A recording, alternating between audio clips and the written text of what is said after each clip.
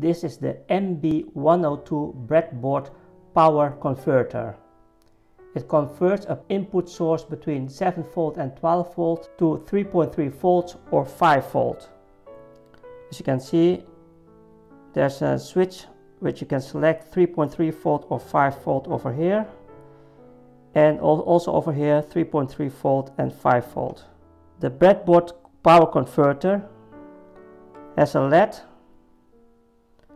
two switches, two types of input source over here or over here and it requires an input source between 7 volt or 12 volt direct current.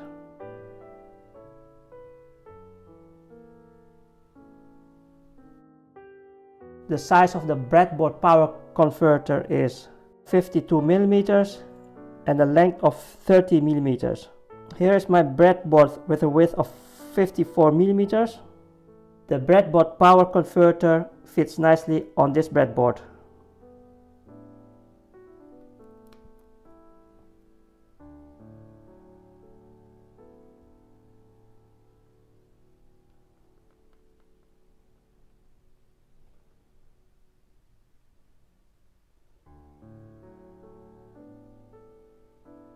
Over here is a simple LED circuit.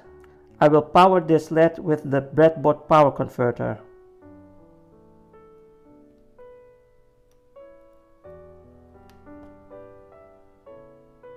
I'm setting the switch to 5 volt, plus power supply is over here.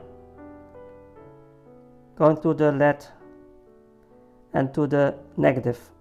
I'm using a 12 volt adapter now connecting my 12 volt power supply. As you can see, the LED is on. And also this LED is on when the power supply is on. At this moment the power supply is now 5 volt over here. The switch is now selected to 3.3 volt and you can see the LED is slightly dimmed. You can select 3.3 volt and 5 volt but over here you can also select 3.3 volt or 5 volt and over here are pins where you can select 3.3 volt and ground and over here you can select 5 volt and ground. Let's measure the power output over here. The switch is selected 3.3 volt as you can see it is 3.3 volt over here. The switch is now selected 5 volt as you can see the voltage is 5 volt.